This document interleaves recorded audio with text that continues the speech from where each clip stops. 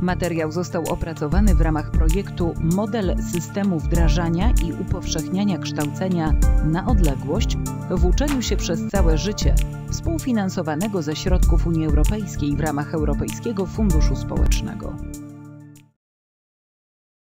Witaj. Zapraszam do obejrzenia wideokastu dotyczącego siódmego modułu kursu Produkcja zwierzęca bydło, trzoda chlewna, drób, konie, owce, kozy. Dzięki informacjom zaprezentowanym w filmie zdobędziesz niezbędną wiedzę przewidzianą w tej części szkolenia. W chowie zwierząt gospodarskich wyróżnia się następujące systemy utrzymania: ściołowe, głęboka ściółka, płytka ściółka, bezściołowe, rusztowe. W chowie zwierząt gospodarskich najkorzystniejszym systemem utrzymania jest ściołowy.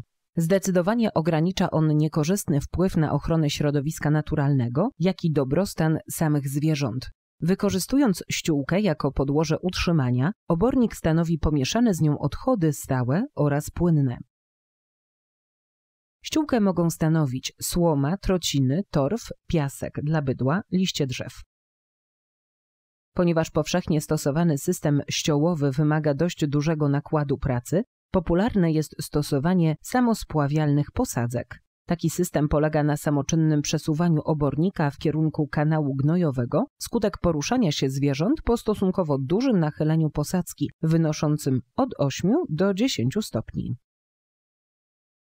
Aby ograniczyć nadmierną emisję szkodliwych gazów w pomieszczeniu inwentarskim, należy jak najszybciej usunąć zalegający w kanale gnojowym obornik i umieścić go na płycie gnojowej. Powierzchnia płyty musi być dostosowana do liczby zwierząt oraz zapewniać przechowywanie obornika.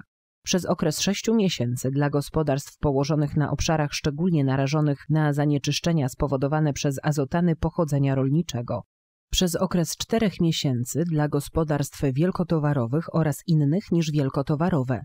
Na jedną dużą jednostkę przeliczeniową przeznacza się około 3,5 m2 powierzchni płyty, 10 m3 pojemności zbiornika na gnojowice i 2,5 m3 pojemności na gnojówkę.